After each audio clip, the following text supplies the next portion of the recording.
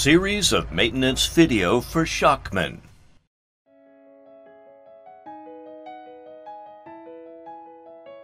Torque wrenches, slide hammer puller, two self-made needles, screw sealant.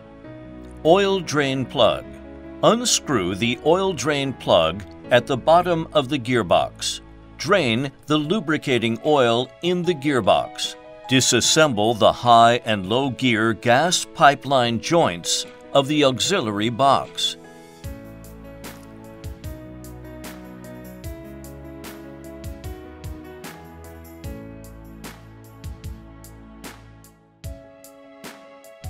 Disassemble the pressure reducing valve.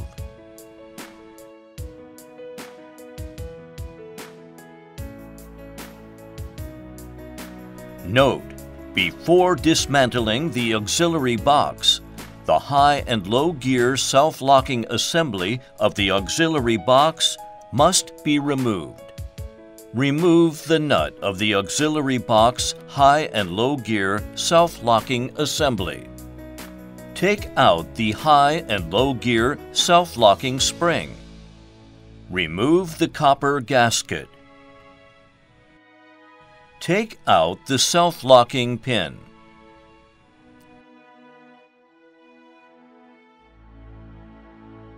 To prevent dust or debris from entering the main box, the nut should be returned. Position of auxiliary box fixing bolt. Loosen the auxiliary box bolts.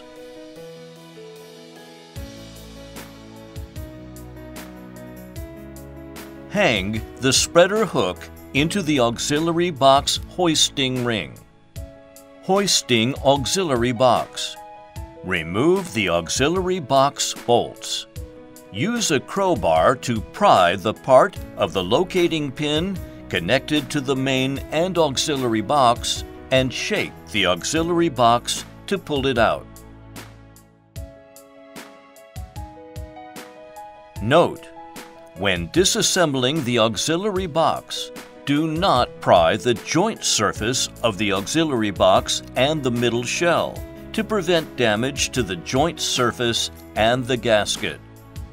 Remove the auxiliary box and place it in a suitable position to facilitate subsequent disassembly work. Note, the shifter shaft of the auxiliary box cannot be in contact with the ground. Remove the ground plate bolts.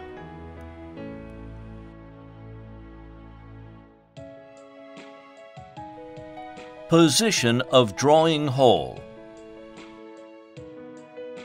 Screw the screw head of the slide hammer into the hole. Pull out the ground plate. Remove the grounding plate and the low gear synchronous conjunction gear. Put the ground plate assembly on the workbench to disassemble and inspect. The ground plate.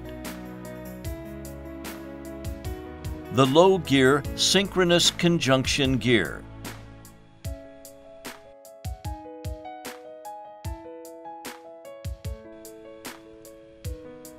Tapping the needle roller bearing in the low gear synchronous conjunction gear with a chisel to make it fall off.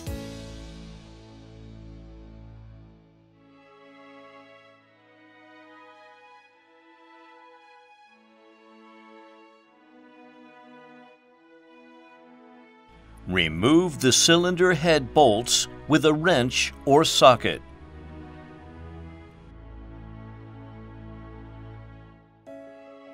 Remove the cylinder head.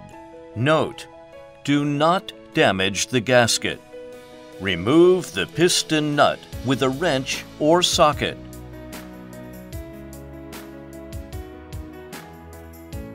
Remove the piston. Turn over the auxiliary box and gently take out the synchronizer and shifter shaft assembly to prevent the spring assembly from flying off. Use a flat blade screwdriver to gently pry off the glued synchronizer ring.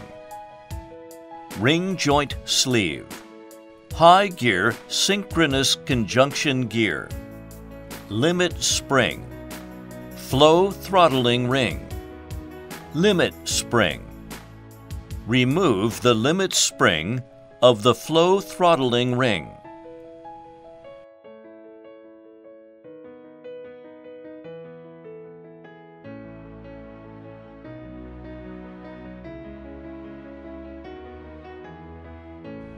Remove the flow throttling ring.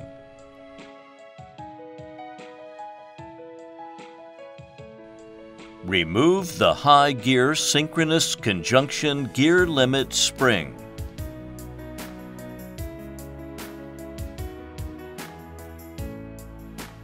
Remove the high gear synchronous conjunction gear. Use two self-made pick needles to remove the limit circlip of the ring joint sleeve.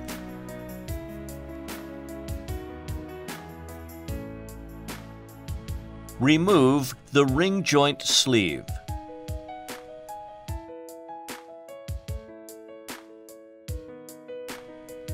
Synchronizer sub-assembly. Pay attention to protection when disassembling the synchronizer to prevent the spring assembly from flying off.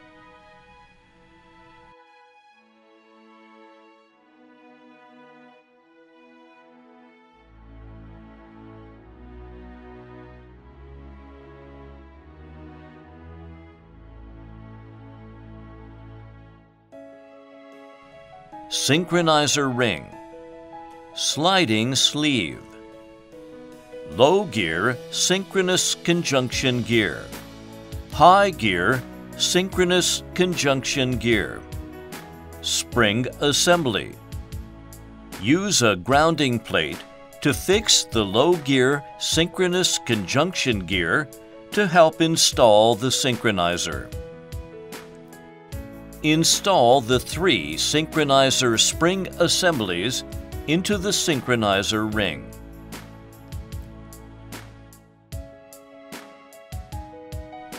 The other synchronizer ring and the spring assemblies are buckled upside down on the previous synchronizer ring. Put the synchronizer sliding sleeve into the synchronizer ring. Turn it clockwise after adjustment and install it. Combined synchronizer assembly. Use two flat blade screwdrivers to support the ring gear for easy installation of the large clamp ring. Put the ring joint sleeve into the high gear ring gear. Make sure to align the mark at the notch of the large clamp ring to facilitate the next disassembly. Install the large clamp ring and make sure it is in place. Install high gear synchronous conjunction gear to mesh with Planet Carrier spline. Fix it with a circlip for the shaft. It must be assembled in place during assembly. Install the auxiliary box flow throttling ring. Install it on the spline tooth of the circlip for the shaft. Note, the oil hole is upward. Fix it with a circlip for the shaft it must be assembled in place during assembly. Install the sliding sleeve guide block into the shift fork of the auxiliary box. After combining the shift fork with the synchronizer, install it into the hole of the shift cylinder of the auxiliary box. Then, install the auxiliary box synchronizer assembly into the ring joint sleeve. Need to hang the synchronizer into the high gear zone. Turn over the auxiliary box assembly. When turning over, you need to hold the synchronizer and shift fork assembly to prevent the synchronizer from slipping off. Install the aluminum alloy piston and apply grease around the O-ring. When assembling the piston, the part number is upward. Apply screw sealant to install the lock nut.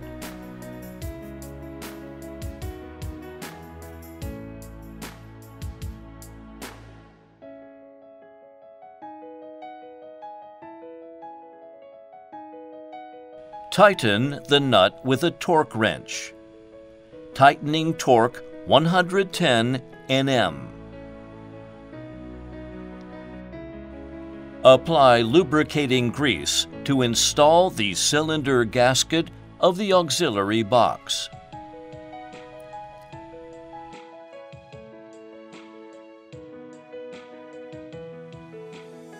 Install the auxiliary box cylinder in place.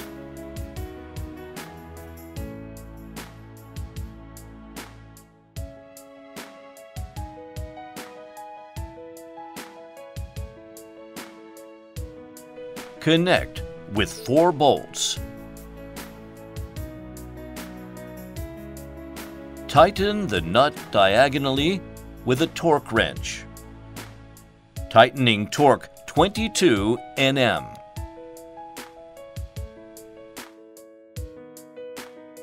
Install the needle roller bearing into the low gear synchronous conjunction gear.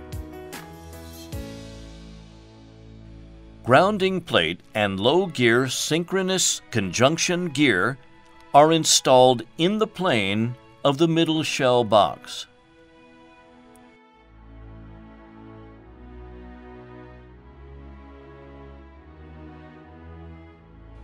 Connect the ground plate with bolts and tighten the bolts.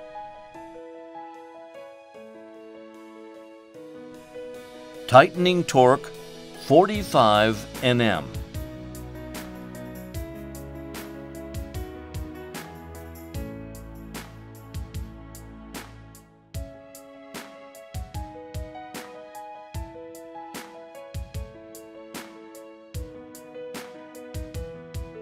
Note, before installing the gasket, check carefully whether there are burrs on the joint surface of the middle shell and the auxiliary box.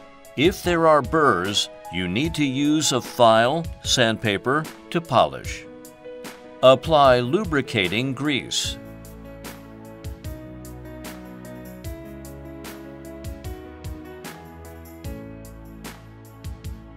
Install the sealing gasket for connecting middle shell box and auxiliary box.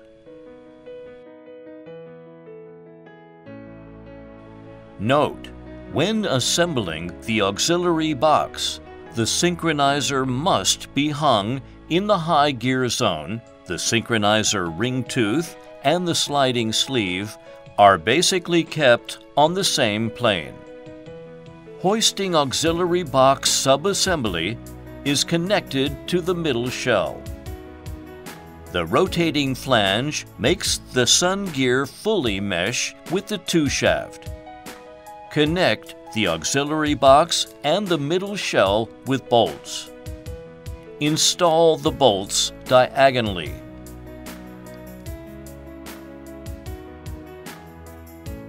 Tighten the connecting bolts of the auxiliary box assembly. Tightening torque 45 Nm. Take off the self-locking nut. Install the self-locking nut in the middle shell, installing the self-locking spring, install the self-locking pin plug and copper gasket. Tighten with a torque wrench. Tightening torque 50 Nm.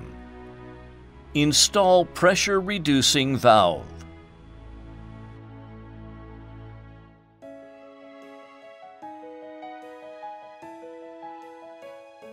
Connect airline.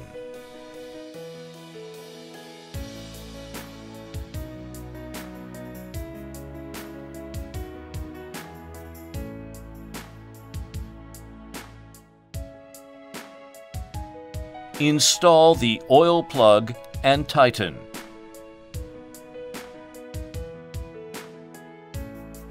Replacement of the auxiliary box synchronizer assembly is complete.